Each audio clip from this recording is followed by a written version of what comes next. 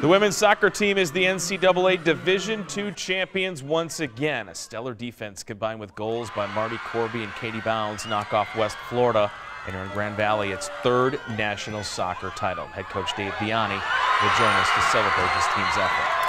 The football team comes from behind with 21 third quarter points and a second half shutout against a high-powered West Texas A&M offense. They advance to the NCAA semifinals. Head coach Matt Mitchell will join us to break down the action and preview next week's opponent. The best volleyball teams in the region gathered in Allendale this weekend. The Lakers win two tough matches but suffer a heartbreaking loss in the finals. Assistant coach Jason Johnson will look at the team's phenomenal season. Welcome to another special Grand Valley State Sports Report. I'm your host, Brent Ashcroft from WZZM TV 13. On your screen are links to football, soccer, volleyball, and basketball. It was an action-packed week, and we will have all the highlights and interviews as the Grand Valley State Sports Report starts right now.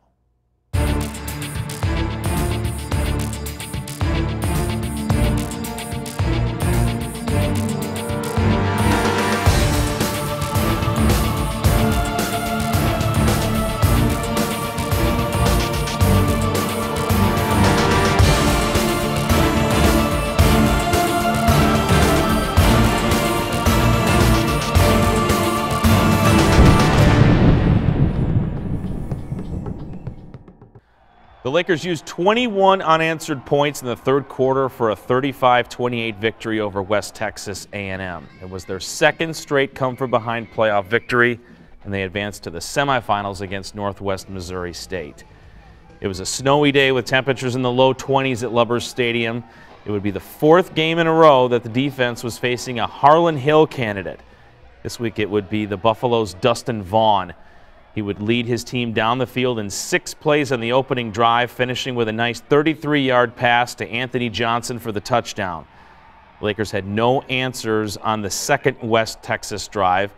This time Vaughn would take the Buffaloes 73 yards in 13 plays.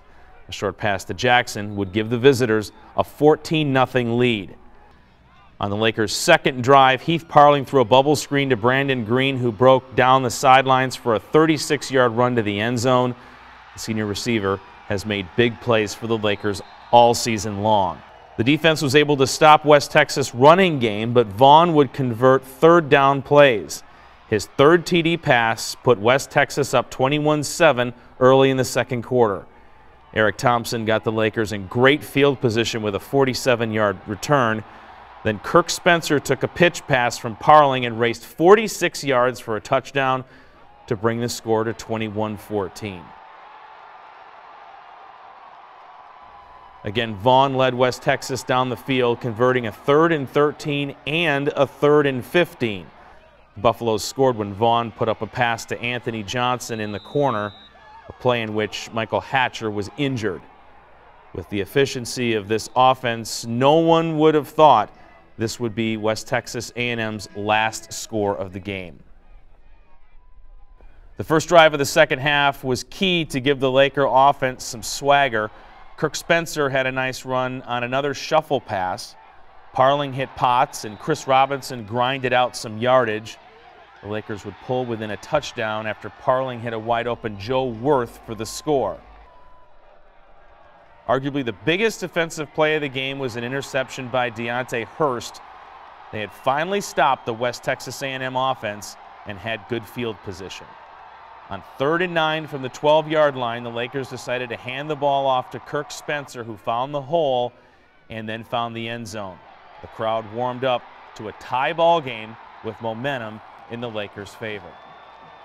The Lakers picked Vaughn again on their next drive. This time it was Devonte Jones at the Grand Valley 35-yard line. Looked like the West Texas A&M defense would stop the Lakers this time. But on fourth down, the Lakers faked a kick, and Alton Voss ran for 18 yards and a first down. Three plays later, Parling would connect with Potts on a 16-yard pass, and the Lakers had their first lead with 3.27 left in the third quarter. The defense again was phenomenal in the fourth quarter. Reggie Williams picked off a pass, and they were able to stop three West Texas drives. When Heath Parling scrambled for 12 yards on a third and seven, the game was over. The Laker faithful celebrated as Grand Valley would head to the semifinals in the NCAA Division II playoffs. Joining us now is head coach Matt Mitchell to give us his perspective on a great comeback win. You really got this comeback thing mastered here in the postseason. Down 16 at Colorado, you come back to win. Down 14 to West Texas, you come back to win. Not the ideal way you want to do it. You want to get out ahead on these teams, but you'll take it. Yeah, I think our team's resilient. You know, we don't uh, panic at all. We've been in some of these situations. I mean, look back at Hillsdale, we were down at half, and Northwood, and so we fought through some of these things. I think when you play these great teams, and they come in, there's always some adjustments that have to be made by players and coaches. And I think that's one thing that our team has done a great job of. Our assistant coaches and our players have, um, you know, adjusted to this piece, the, the pace of play, what people are doing. And that's what allowed us to uh, come back in the second half in most of these games. Yeah, West Texas seemed unstoppable in that first half. 310 yards of offense, 298 of it was through the air. 9 of 11 on third down conversions. That was their key, wasn't it? Yeah, we got into a lot of second longs and third longs. We couldn't find a way to get off the field at all. And uh, they have a extremely potent offense. I mean, that skill set they had out there between the quarterbacks and the wideouts was great. There were some times where I felt like we weren't too bad a shape, but they made some they made some plays, and and you can live with that. But a lot of those third downs and second downs, we couldn't get much pressure, and so I think that was one of the biggest adjustments we kind of make at halftime. We were trying to rush three and drop eight and rush four. We got a little bit more aggressive, and I think that we had some people in his face, and some of those times that led to some of those turnovers. Obviously, the third quarter was huge for us. We got three turnovers, took the lead heading into the fourth, and we were able to kind of cling and hang on in the fourth quarter. Vaughn was such an unstoppable quarterback in this football game, and they're up 28-14 at half. You made an adjustment on him, obviously, at half. What did you do to kind of disrupt him in the second half because they didn't do much at all? Yeah, you know, we weren't getting hardly anything out of our four-down pass rush, so we kind of went a little bit more using some of our linebackers and some pressure schemes. And I think that um, the pressure got him off balance and, and, allowed us to make some plays in the secondary, you know, uh, with those three interceptions. And our kids stepped up too. We didn't really make a whole lot of plays defensively the first half. We made some plays in the second half, whether it was tackles for lost sacks or obviously the three picks by our defensive backs. Those were contested balls that they made plays on, and that set up our offense for great field position. And got to give credit to our offense; they finished. You know, they finished those drives. We got touchdowns, not field goals and that was big in that game. Yeah, three interceptions on Vaughn in the second half. Two of those you turned into scores. Talk about the uh, uh, Deontay Hurst interception. That seemed to be absolutely the key moment of the of the football game for you guys. Huge momentum swing. You know, our offense goes down the first possession of the half. We go down. We go for it on fourth down and get the touchdown. And then it was like, when is our defense going to get a stop? After giving up a first down, we kind of roll a coverage, and I think we confused the quarterback a little bit. And Hurst makes a nice play sinking underneath the ball. And I could just really feel at that time that was kind of the play that we needed to to just give us a little bit more energy and give our defense some confidence because obviously we were a little shell shocked throughout the course of the first half. We weren't really doing a whole lot to stop them, so kind of had some confidence, and our team really fed off that play the rest of the third quarter, and then we got some huge stops in the fourth quarter defensively. Yeah, everybody talks about the three interceptions, but uh, you know you forced West Texas to punt twice. You disrupt them on a fourth down pass inside Grand Valley's 10. That was a huge play as well. Big plays there down the stretch. We had opportunities offensively to close that game out with a one-score lead. If we could have scored another one one took it to a two-score lead in the fourth quarter, we probably could have been a little bit more comfortable. We didn't do a good job on offense. We threw a pick, we turned the ball over, had some short fields. Our defense had to take it in short fields. The fourth down stop, forcing them to punt. Even there towards the end, when we forced a field goal attempt with under like three minutes left on a fourth and 13 was big for our team. And then, um, you know, probably the biggest play of the game on a third down, he scrambles, you know, to get the first down, and their offense doesn't have to come out and take the field. And that's back-to-back -back weeks where our offense has gotten the first down, has sealed the victory, and not forced us to punt and give the ball back to Three their offense. offense. straight games now where uh, Parling has had four touchdowns uh, thrown. Talk about that. He continues to do it for you. Yeah, I mean, I think there's a reason we're winning. We have our best player out there. He wasn't out there last year. At the beginning of the season, he was banged up. He's healthy. He's playing, you know, and he's a leader. He's our competitive guy. And so I don't think there's any, uh, it's not a coincidence that we're having success in the postseason with our best player playing quarterback. All right. We'll be back to preview a familiar playoff opponent, the Northwest Missouri Bearcats.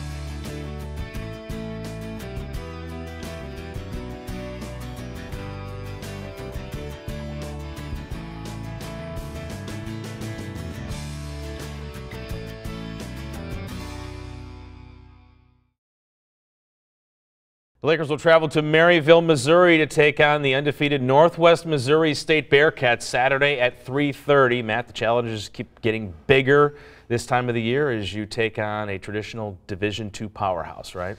Yep, number one team in the nation. Haven't lost a game. Hasn't really been competitive in the playoffs. They've uh, really uh, been able to route the two opponents they've had that a bye and then routed the opponents. And uh, obviously, we're there at their field.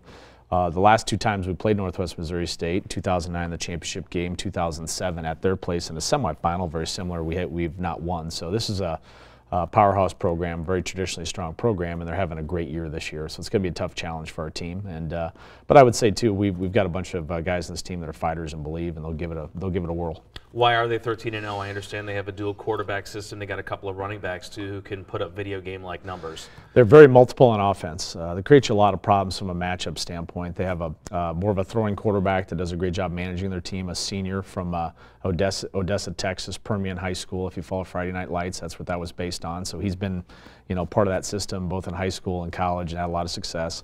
They have a running quarterback who changes up the pace for your defense. And then they got a lot of skill players uh, between running backs and wideouts.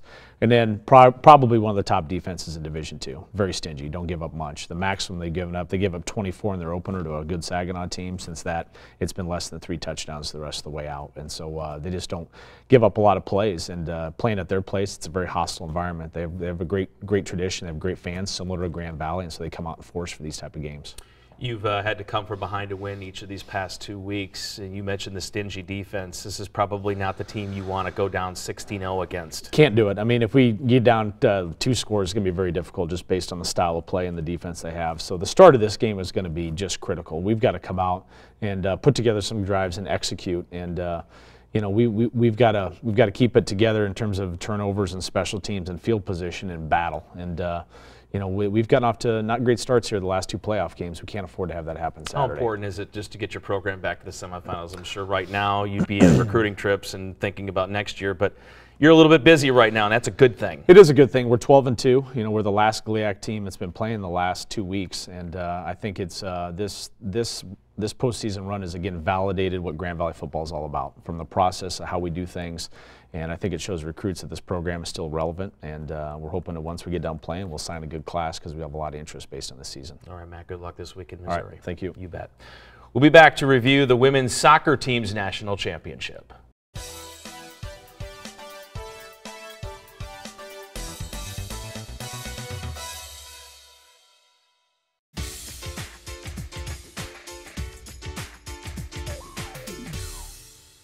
NCAA national champions, 24 wins, no losses, and 21 shutouts. You couldn't ask for more out of a soccer team that some thought might be in a transition season after graduating some of the top players in program history last year. With us now is three-time NCAA champion, head coach Dave DiIanni. Congratulations on Thank an you. incredible weekend in Georgia. We just mentioned it. You graduated so many great players last year. It's not like the cupboards were bare. They certainly were not bare. But you bring in a lot of new faces. Everything seemed to mesh just right, and it led to another title for you. Yeah, I mean, it's fair to say we were in a transition year, but transition didn't mean we, we couldn't be successful. Last year in the, at the banquet, I challenged our you know our senior class or upcoming senior class and the rest of the team to to write their own their own history and their own legacy and um, you know and, and they did that. I you know again we, our senior class leadership doesn't come you know, it doesn't come easily for them, and they did a great job. Um, you know, Kayla Kimball, Sam Decker, Taylor Callan as tri-captains, but Autumn Jacobs and the rest of the senior class did a good job. And you know, we had things that we needed to rely on. We had to rely on freshmen that that hadn't, you know, hadn't scored goals, and um, you know, Shelby Humphreys, a senior who hadn't played a big role up top. So it was a process, but it got us to this game against AIC, and, and I was really happy with how we played in this game. Yeah, talk about this. You were quoted as saying that this was one of the best game plan executed soccer matches you've seen in your entire time at Grand Valley. Yeah, I mean, I think it was. You know, we, we wanted to get deep into the bench. This was uh, our first goal. Marty Marti Corby slotting a ball to Jenny Shaba, who's an All-American, and and she does uh, well one All-American to another All-American, and, and she does what she's done all year is, is uh, she was able to to slot the ball off a deflection. We, we broke down in the first probably 15, 20 minutes uh, uh, defensively, and I think it was you know legs and, and the excitement of the first game, and um, you know this is the this is their goal coming uh, about two three minutes into the second half. This is where it was disappointing. We we talked about matching their intensity in the beginning of the second half. We didn't do that, and um, you know we were we were tied one one, but I, I think our resolve and our character you know, showed right after that. We're just Jenny Shaba getting herself in and missing the chance, but we that goal seemed to wake us up. And, and again, here's that same combination: Marti Corby, Jenny Shaba, a very nice goal to go up two to one. And and uh, from here on in, the final 25 minutes, we rolled a lot of our bench out and to you know to get them tired. And uh, you know one of the game plans was to not uh, to to have them have to get tired and, and use our bench to do so because they weren't very deep. So I was really proud of how our kids did. You got to be happy to uh, seeing Marti Corby continue to have uh, success. Uh, you know, a lot of your freshmen. You know, obviously this is a brand, this is uncharted territory for for these young ladies, and boy, did they come through for you. Well, and again, here's you know Erica Bradfield pressing on the center back. They're down two one. Kenny Stauffer does a give and go, and we get a PK, and Kayla Kimball Sr. stepped up uh, like she has a couple times this year already to give us a 3-1 lead.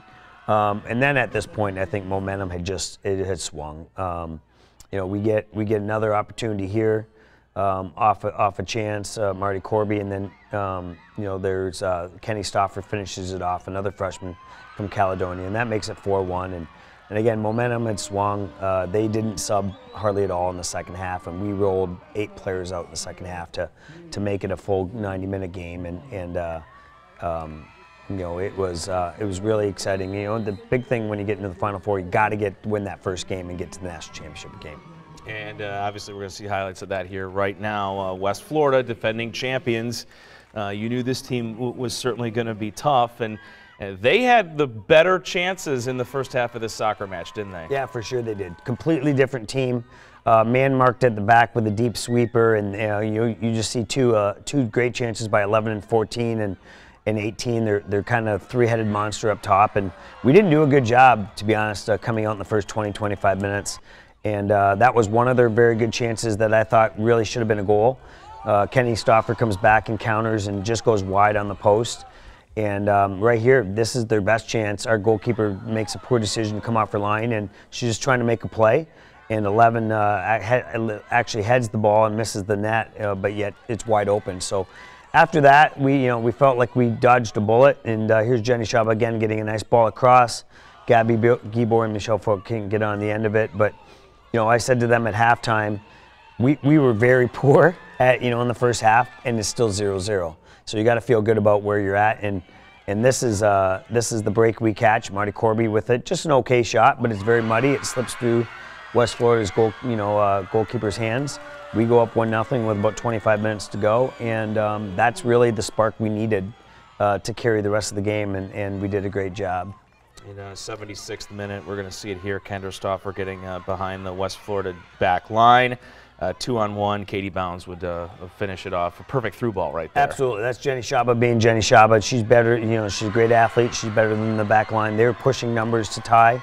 Kenny Stoffer, Katie Bounds, and, and uh, Jenny Shaba counter in a 3v2. And um, Bounds is, is, is, sitting there for a rebound that's two yards out. And that was really the end of the game there. And, and uh, again, we were handling a lot of pressure for them, pushing for a goal. And and uh, that's kind of how soccer is. We counter and transition, and, and, and we, we take the trophy back as national champs. Once uh, you had that two goal lead, your defense played so incredible. Uh, West Florida just one shot in the final 38 minutes of the match, and that's exactly what you needed to see from your team. Yeah, and, and some of that was the depth. They were getting very tired. We wanted, we had to get the game late into the second half and be, be close and um, they, they don't sub you know many players, and I thought some of their better players weren't as fit.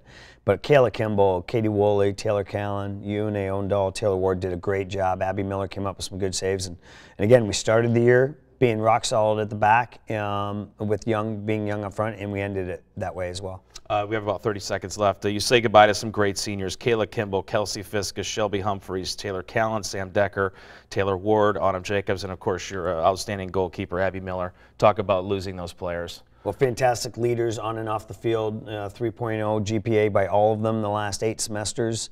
Uh, they're great ambassadors of our program. They're going to be very, very well missed, but uh, we're going to have to reload and recharge and, and get, get going this spring to, to be better. Try to do another one in 2014. Congratulations again, Dave, on an Thank incredible you. season in the national championship. Appreciate it. You bet. We'll be back to review the volleyball team's great season right after this.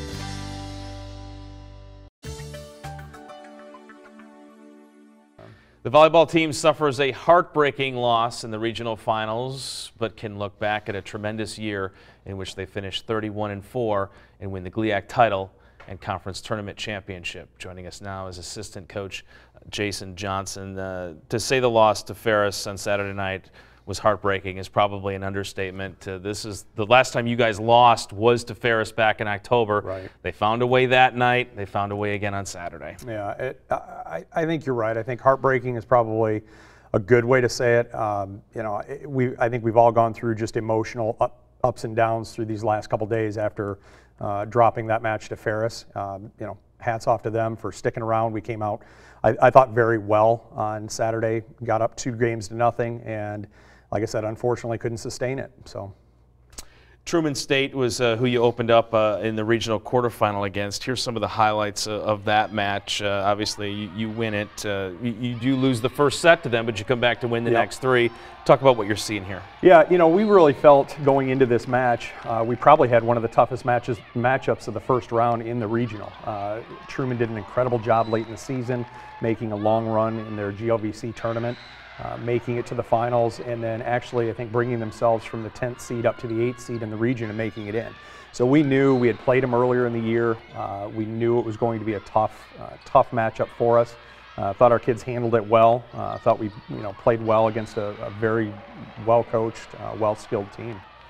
They win the first set, as we mentioned, 25-19. Second set, you found your way. You led 15-11. Eventually, 20-16. You took it 25-17. Yep. Yeah, and then uh, that was really the easiest set of the match. Um, the other two were two-point swings, I think 27-25 and 26-24, uh, uh, but very well played by both teams, we felt. And here is the semifinal against Ashland on, on Friday night. Again, you surrender the first set to them, not what you wanted, but then the team uh, responded by winning the next three. Yeah, you know, uh, it's, it's been the running joke of our, our program all year. We just have a very difficult time starting quick. Uh, we come out, we we'll play with a team. We'll, we'll kind of, if you will, feel it out, figure out where we're at. But then, yeah, have a, you know, always seem to be dropping those first sets and then come back. But Ashland's a very good, very young, talented team. Uh, we, it's the third time we played them. Had a great battle with them uh, in the GLIAC final match uh, two weeks prior. And, you know, again, felt like it was a very well played match by both teams. Both teams are pretty comparable as far as talent and in what we like to do, uh, really outside right side dominant on uh, uh, with Ashland and with Grand Valley. Thrilling fourth set in this match. Uh, they led 12-9, several ties, 18-20, 21-22. Uh, they actually had a 24-22 lead at yep. one point, and then uh, Kaylee Lound uh, was involved in four straight points for you. Yeah, Kaylee Lound has really grown into quite a volleyball player this year. Uh, being a sophomore, uh, first time stepping on the court for Grand Valley, and she has blossomed as a player as the season's grown. Here's the championship against Ferris. Uh, go ahead and talk about what you see here. Obviously, you came out like gangbusters, yep. uh, winning that first set in such a dominating fashion, 25-13, but uh, they made some adjustments and, and, figured some things out against you. Well, and I think the first set has a lot to do with you know nerves, uh, execution for both teams you know, being at home, feeling confident with where we're at, uh, beating Ferris just a couple weeks ago uh, during the regular season. Our, our, kids played very well in that first set. You know, I felt Ferris was a little tight, made a couple of mistakes early to, to help us, you know, uh, open up that lead. But then it, second set was probably a little more uh, what you would expect from a Grand Valley Ferris match. You know, 25-22, played very well. Everything was tight throughout that second set. Uh, we were able to finish off that second set and take, take a a 2 0 lead, and then had a little bit of an emotional letdown in three. Uh, Ferris, again, they, they weren't ready to go home, so they you know picked up their play.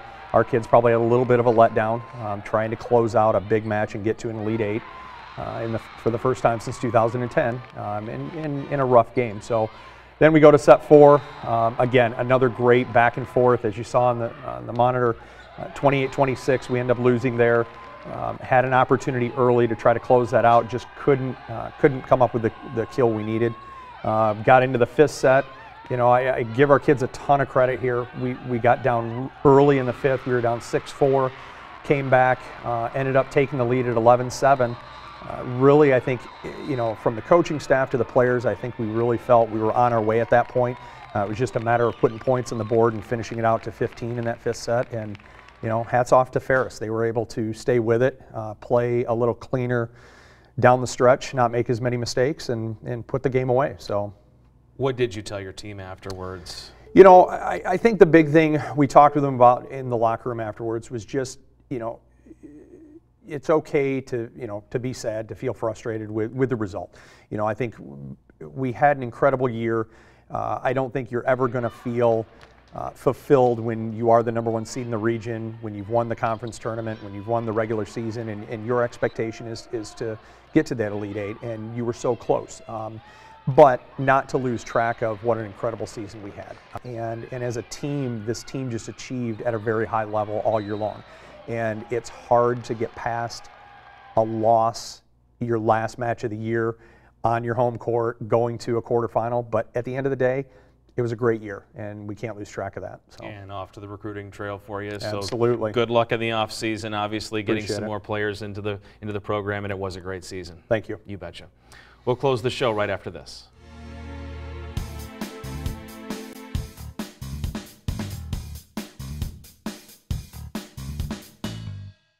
The NCAA semifinal football game against Northwest Missouri can be seen on E ESPN3 and GVSULakers.com Saturday at 3:30 Eastern Time.